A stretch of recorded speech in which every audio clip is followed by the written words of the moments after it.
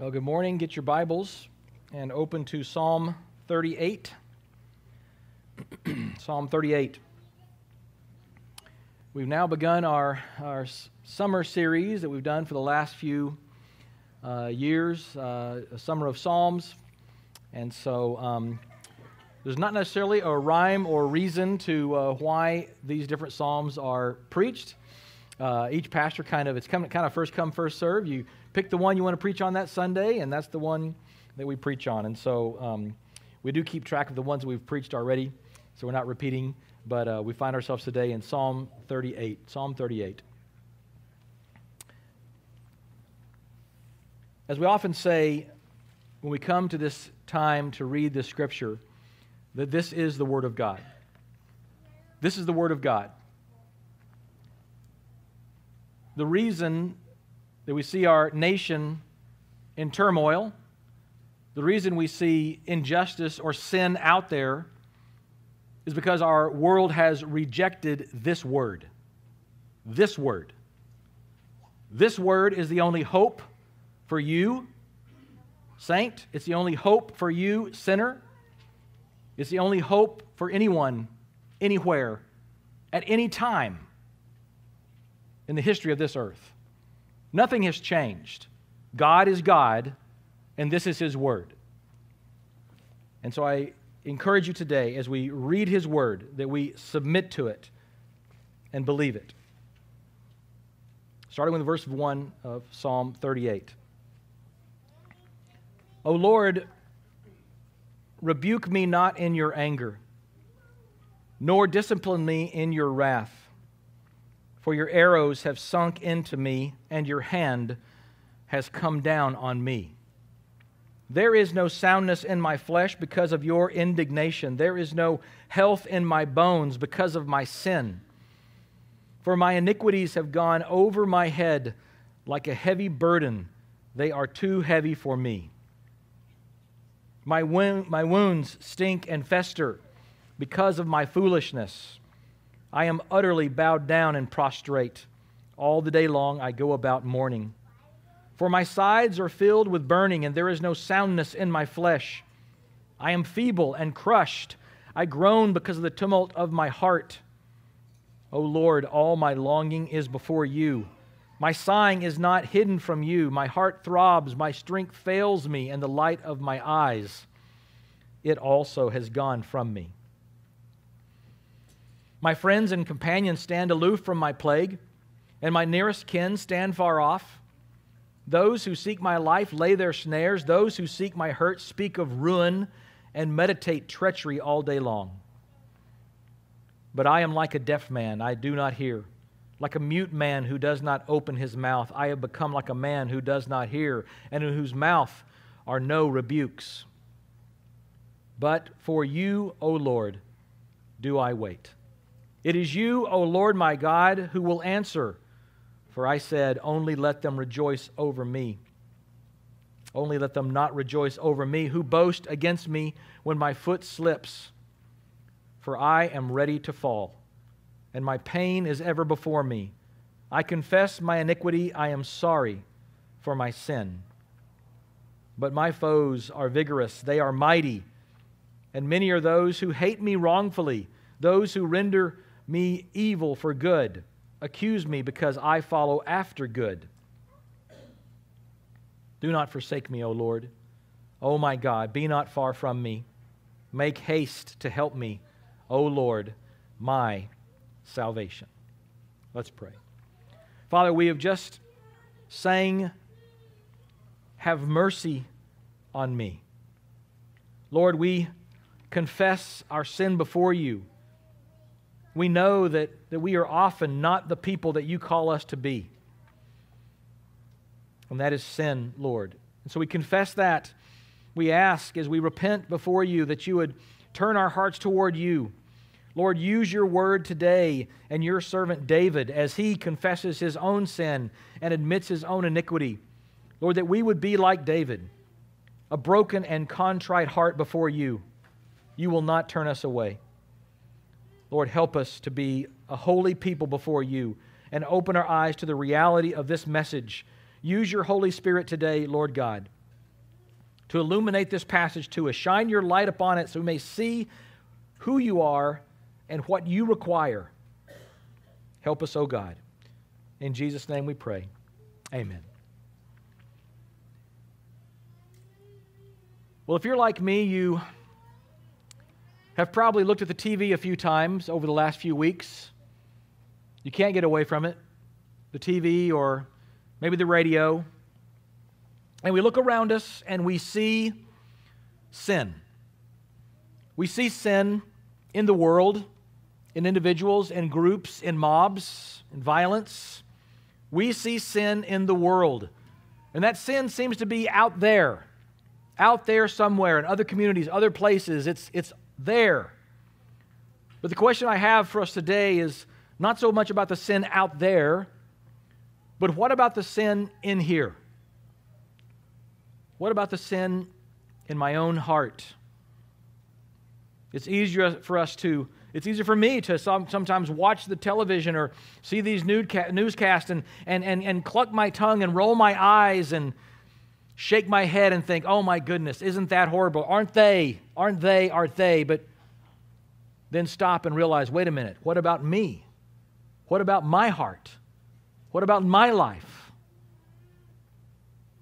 Psalm 38 lies toward the end of what has been called Book One of the Psalms, which contains Psalm 1 through 41. It's one of the penitential Psalms. These are Psalms which convey deep contrition and repentance for sin, coupled with God's grace and forgiveness, which restores the sinner. This Psalm, Psalm 38, is an individual lament. David, the psalmist, finds himself plagued with physical illness. The result is an intense time of personal anguish, and hence his lament. He complains against God's discipline who uses his enemies as the rod of his divine correction. But David, the psalmist here, trusts in God, petitioning him to remove his sickness and suffering. He believes that in due time, deliverance will come from God. Stanley Jaki, in his commentary on this psalm, says this As is the case of, uh, with some of other, other potential, penitential psalms, this one too is long on details of physical pain and sickness, the presumed effects of sin, but very short on details of the sin itself. In fact, the psalm leaves the nature of sin com- committed utterly unspecified. And it's true, when we read this psalm, we see that there's sin there, but we don't know what the sin is. And it's really helpful for us because we might look at this sin and say, well, that's not my sin. That's David's problem. It's not my problem. But God, in his, his wisdom and through the Holy Spirit, has, has not revealed what David's sin is. It's just sin. And that's good for us because guess what? David was a sinner. And so are you. And so are you. Stanley Jaki goes on and says this This psalm should be a medicine against taking our sins lightly. Once we feel tortured on account of our sin, as the author of this psalm did, we may safely believe that we are on the road to genuine spiritual recovery.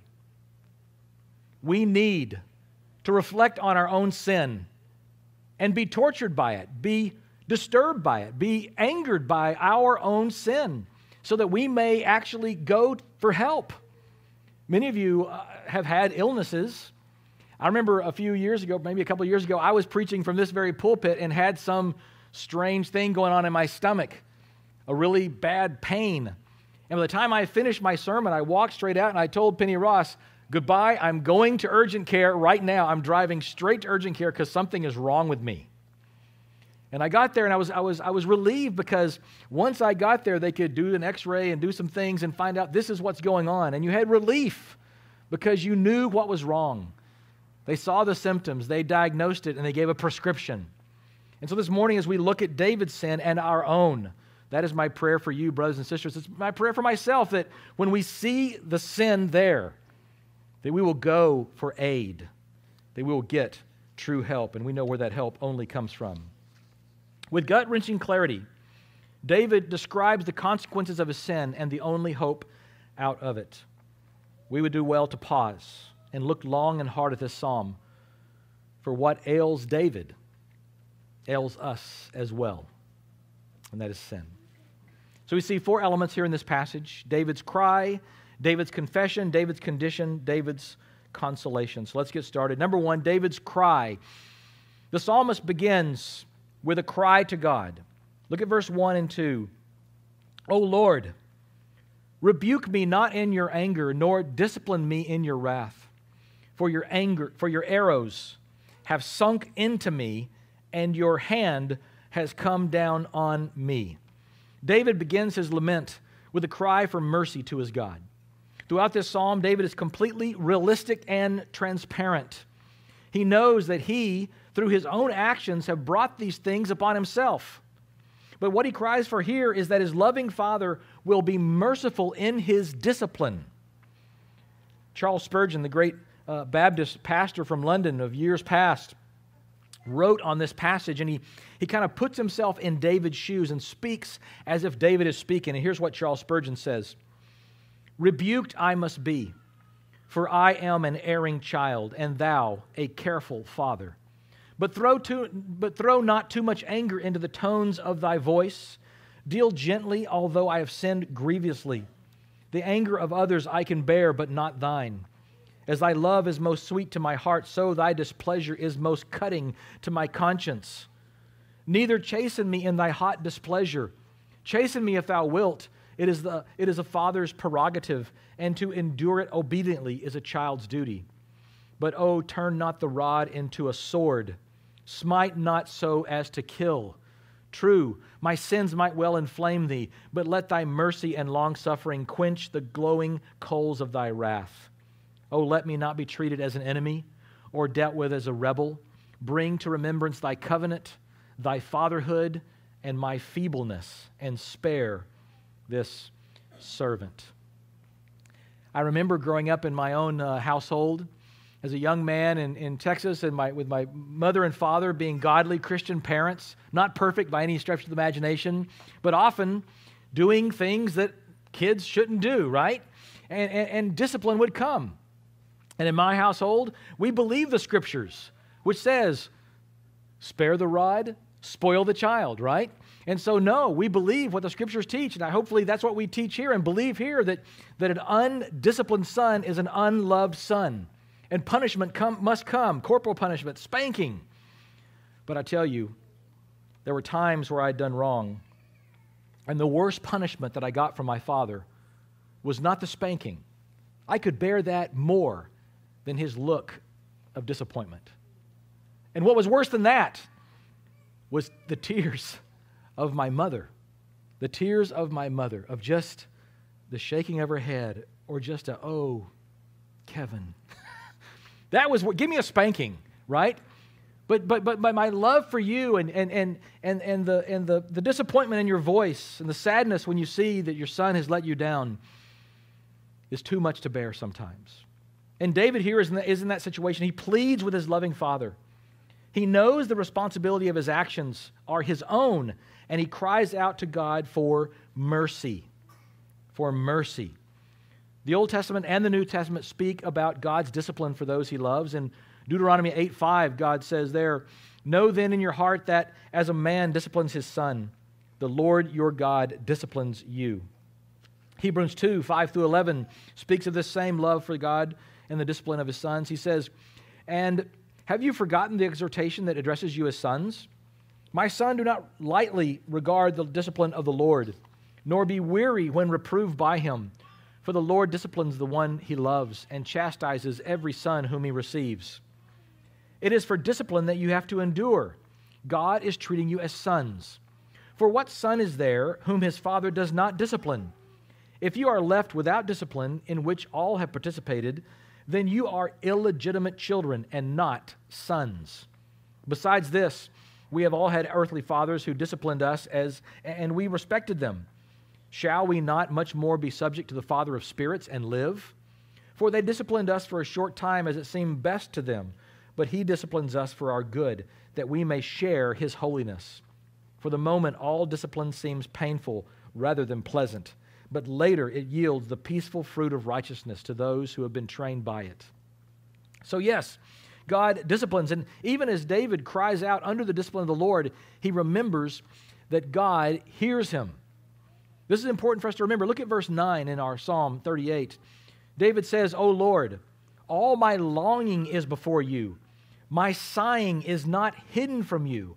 And this is important for us to remember that God Himself hears us, God sees us, God, God, God condescends toward us. John Piper, reflecting on the Psalms, says this This is why we cleave to the Psalms. They are us. Pain, loneliness, affliction, trouble, guilt, burdens, uh, illness, cast down, turmoil, shame, moaning, weeping, nights flooded with tears. David knows that God sees it all and hears it all. When our hearts break, brothers, sisters, friend, when God's heavy is heavy, when God's hand is heavy on us, He is there. Pour out your soul to your Father. He hears you. And that's exactly what David does, doesn't he? When he brings his confession. Point two, David's confession. Look at verses 3 and 4. We come to David's confession. He says, There is no soundness in my flesh because of your indignation. David rightly sees that God is sovereignly in control and part of this discipline. This is coming from God, his sovereign uh, Father. But also, David sees his own responsibility. He says, There is no health in my bones because of my sin, for my iniquities have gone over my head. The Greek term uh, hamartia, meaning sin, uh, which conveys the idea of falling short of the mark. We know the scripture, all have sinned and fall short of the glory of God. And I've often uh, likened that to going to El Dorado Park, where my son and I take our bows and arrows, right? And we go, and there's a, a long way off. It's actually, it was built, that uh, archery area was built for the Olympics, for the 84 Olympics. That's where they had the, the, the archery for the Olympics there. And, and so you got these long field and like a football field, and way out there there's this arrow, and you think of uh, pulling back that mighty bow and letting the arrow go, and it just goes blink and doesn't even make it to the target. That's our sin right? All have sinned and fall short of the glory of God. It's not that we just miss the bullseye by a little bit. You don't even hit the target, okay? You're impotent. You're powerless to, to, to, to glorify God as we ought. We are made for the glory of God, but sin causes us to fall short of the mark. Another aspect of sin is called transgression. It has the very basic idea of crossing the line. It's crossing a boundary. It's going somewhere where we, where we shouldn't go. The old VBS song or little, little uh, uh, Sunday school song we used to sing when I was a kid was, was this uh, Be careful, little feet, where you go. Be careful, little feet, where you go, for your Father up above is looking down in love. So be careful, little feet, where you go. Then it had, Be careful, little hand. Thank you. had, be, be, careful, little hands, where you go. Or, or be careful, little hands, what you touch. Be careful, little eyes, what you see. Why? Because we have a Father above who's looking down in love. So be careful. Be careful. And that's the idea of transgression. There are things where our feet should not take us, there are places we should not go, there are things we should not touch, and there are things we should not see. Those are transgressions. That's crossing boundaries that God has set for us. Another aspect of sin is, is this idea that's here in Psalm 38. It's also in Psalm 51, the idea of iniquity iniquity. And the, the idea of iniquity is twistedness, twistedness or perverseness. Uh, the Latin word in, uh, the, the prefix in means not, and equity there means like equity. So, not just. That's the idea of injustice, something that is righteous and good and just, and it's twisted. It's no longer justice, it's no longer righteousness, it is wickedness, it is twisted. David says in verse 18 as he confesses, he says, I confess my iniquity.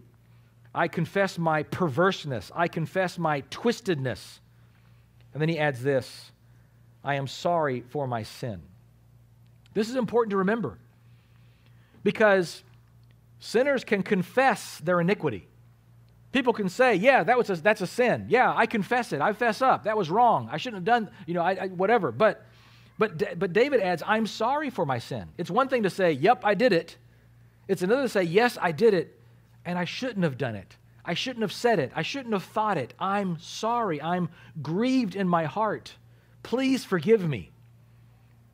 Brothers, let me talk to you, men. When you speak out in anger and you're frustrated with your wife, do you quickly say, but if you hadn't have done this, I wouldn't have said that. Right? If you didn't, the reason I got angry is because I tripped over the shoe you left there. If you would pick up your shoes, if you would clean off the counter, if you would do this or do that, then I wouldn't. Right? We confess our anger, but then we blame someone else. We don't take responsibility. David here takes responsibility for his own actions. I confess my iniquity. I'm sorry for my sin. David confesses. He calls the sin what it is iniquity. He doesn't make excuses. He comes clean. He fesses up. He admits his twisted ways. Friend, isn't it time for you to come clean? Isn't it time for you to come clean? To confess, to stop blaming others, to take responsibility for your own sin. Because you see, sin has consequences. Sin has consequences. That brings us to our third point David's condition.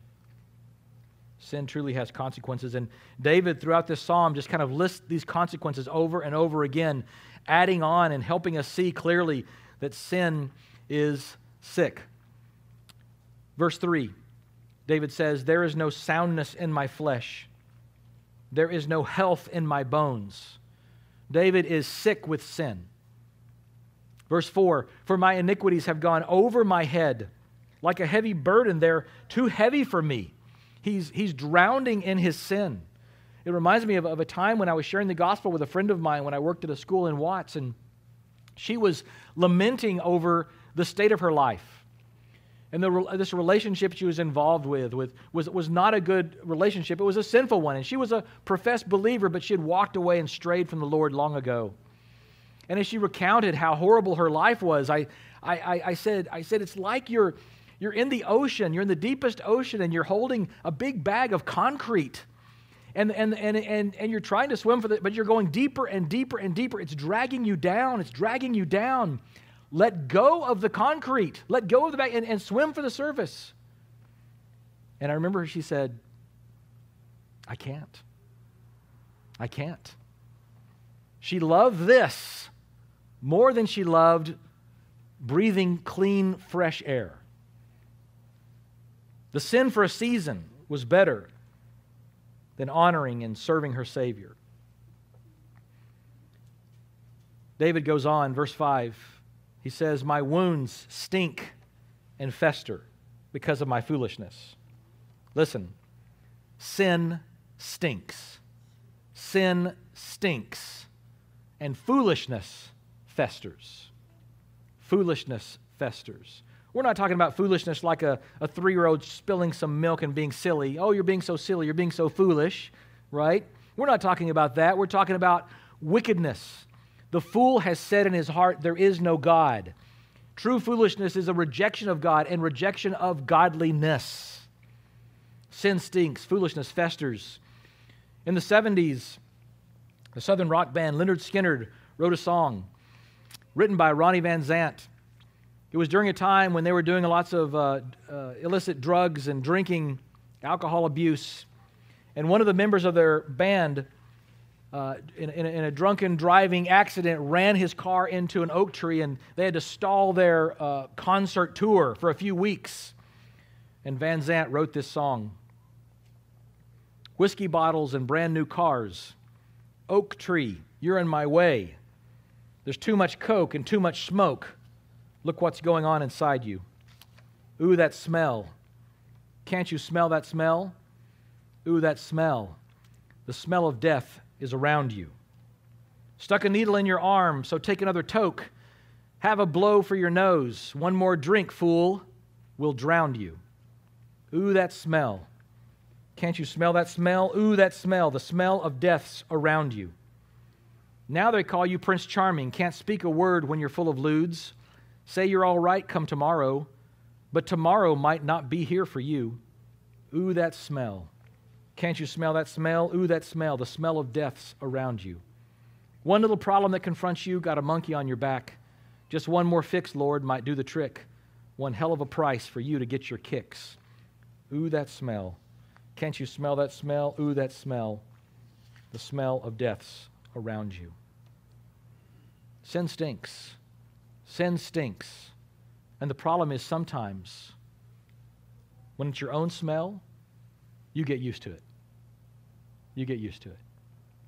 Uh, many of you know I was a middle school teacher for the last four years. Ooh, that smell. What happens when a young elementary school boy grows into manhood? He begins to smell. Franklin Middle School, go out to recess, lunch, basketball for 30 minutes, soccer on the soccer field, come back in to Mr. Bryan's class.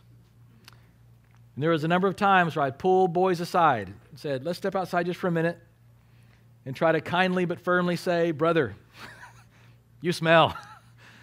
There's a thing, it comes in little cans. It's, it's an ingenious invention. I don't know if you've seen it before, called deodorant. Use this liberally to your body parts, right? That smell. But the challenging thing is that sometimes they wouldn't smell it. And so a loving, a loving father, a loving teacher would pull aside a young man and say, Let me talk to you because I love you. I care for you. I want the best for you. And that's what we need in the Christian church. Because sin stinks. And sometimes we don't see it. Sometimes we don't recognize it. Sometimes we don't smell it. But others do. And the loving thing to do is to pull someone aside and to say, Brother, I, I smell you. let's repent. Let's walk together in righteousness.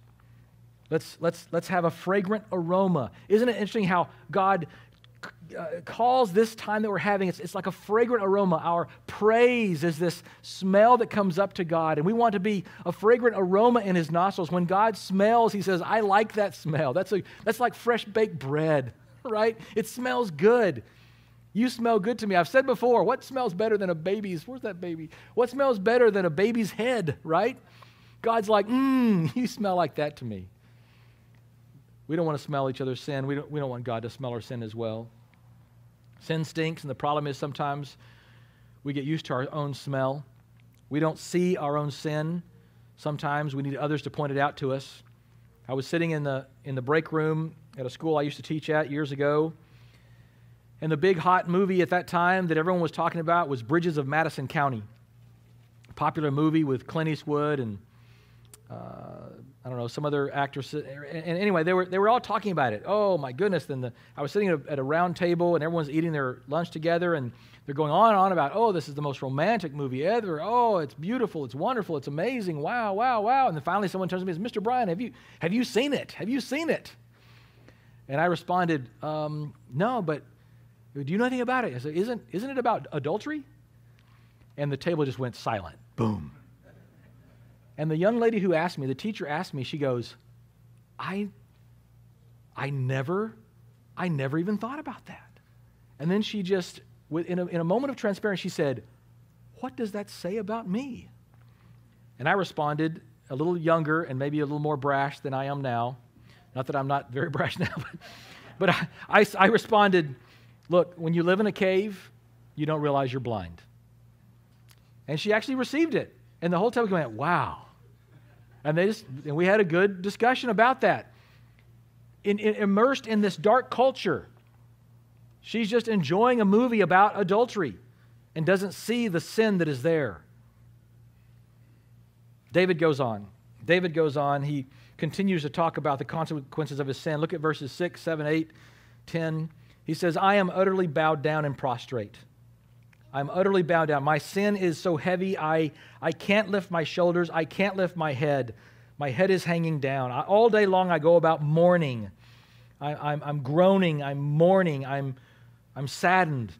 For my sides are filled with burning, and there is no soundness in my flesh. Twice he talks about that. There's no health in me, there's no soundness in my flesh. It reminds me of a man I knew who was dealing with unconfessed sin in his, in his life and in his heart and he was choosing not to repent, and he was brashly continuing his sin.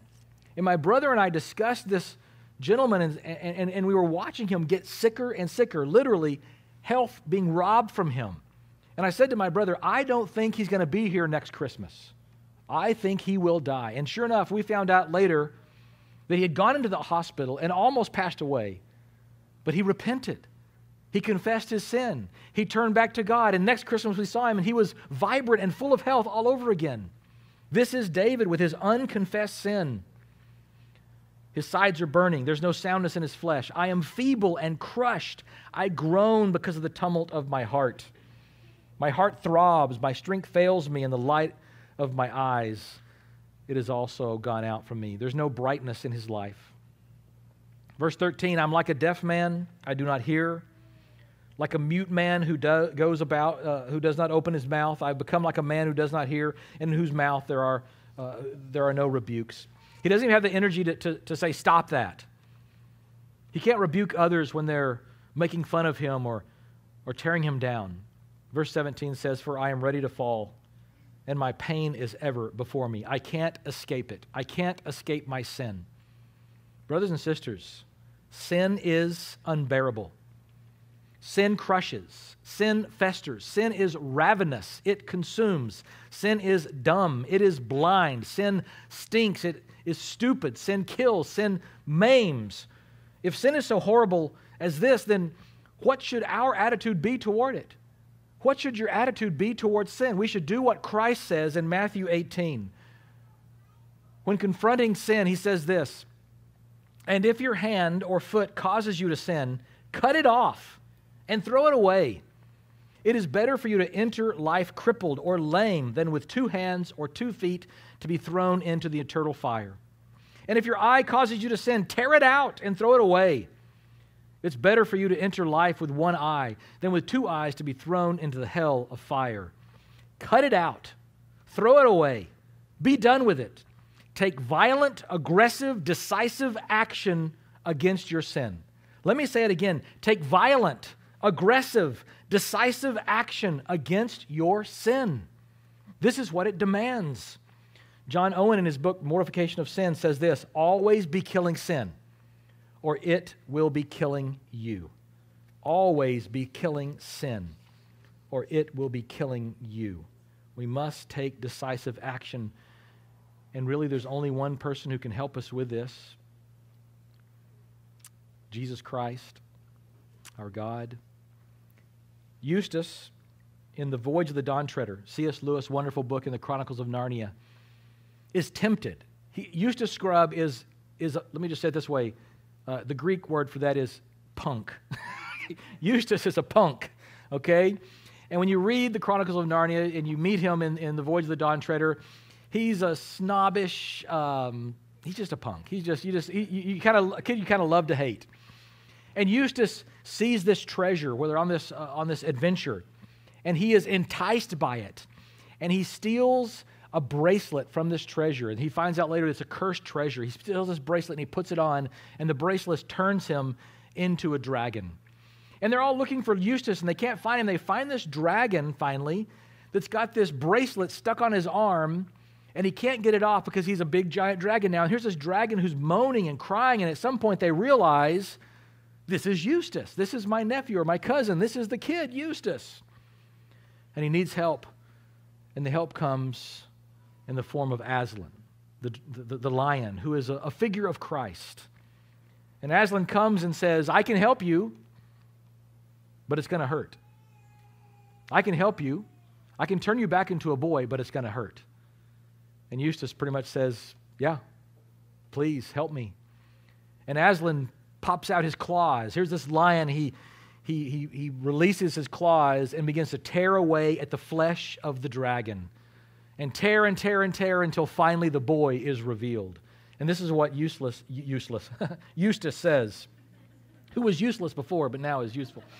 Eustace says this The very first tear Aslan made was so deep that I thought it had gone right into my heart.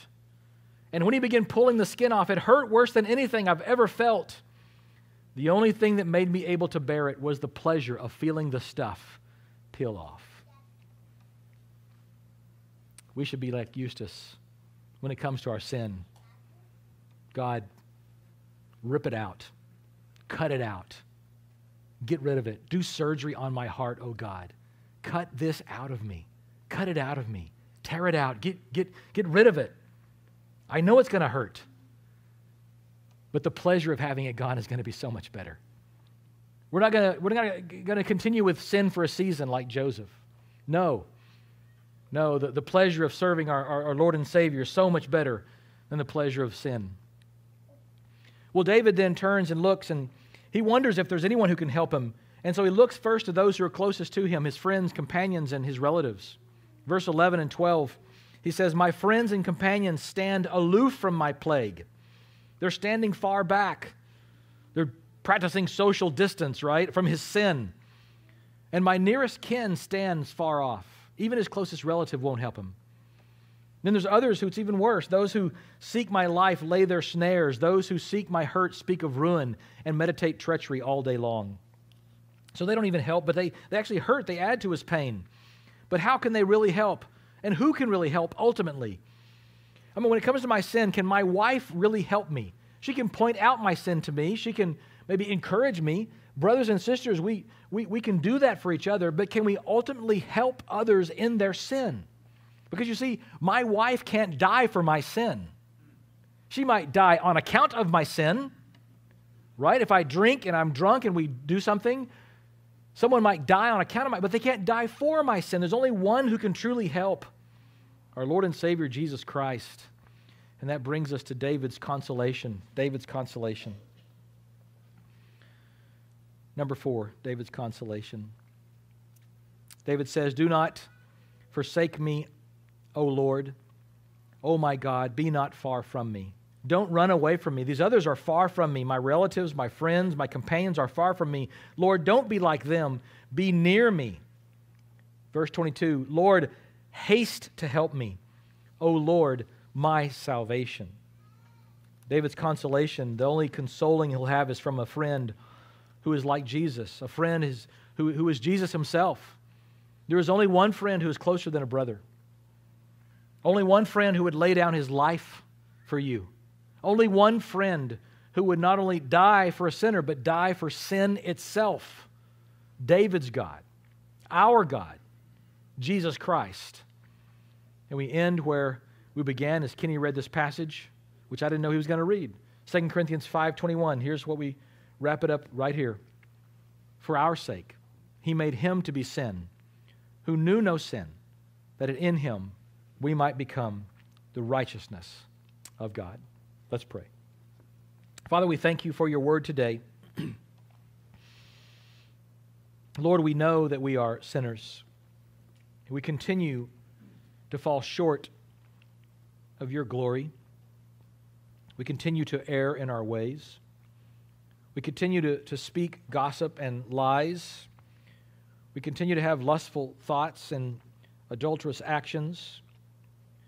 We tend to be we, we, we tend to be lazy and slothful and steal from our employers. We don't put you first, we put ourselves first. We manufacture idols to worship that will bring no true satisfaction. Lord, we confess these sins to you. Lord, help us. Help us to cut it out. Help us to, like Jesus said, take violent, decisive, immediate action when we see sin in our hearts. We want to honor you. We want to please you. We want to smell good to you and to our brothers and sisters. We want to have the aroma of Christ. Lord, help us, help us, help us. We pray this in your Son's name. Amen.